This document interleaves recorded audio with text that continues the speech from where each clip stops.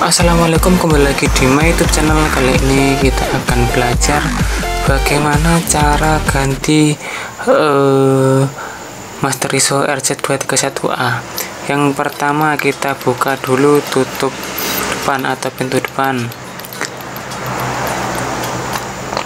Setelah itu kita tekan tombol yang ada di sisi kanan dan ada gambar master ISO kita tekan aja. Kemudian kita tarik tuasnya pelan-pelan saja. Oke. Setelah itu ini dia penampakan si master ISO tersebut. Kemudian cara bukanya kita buka dulu bagian atas. Kita buka ya kita buka. Kemudian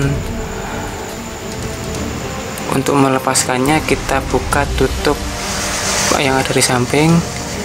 Kita buka saja Oke, kemudian kita tarik master ISO. Terus bagaimana cara masangnya? Cara masangnya adalah uh, master ISO yang ada chipnya kita letakkan di sisi kiri dan ditaruh di uh, tempat yang ada sensornya. Contohnya yang ini tempatnya, yaitu kemudian kita pasang. Setelah itu selesai. Oke mudah bukan cara masang Master ISO RZ231A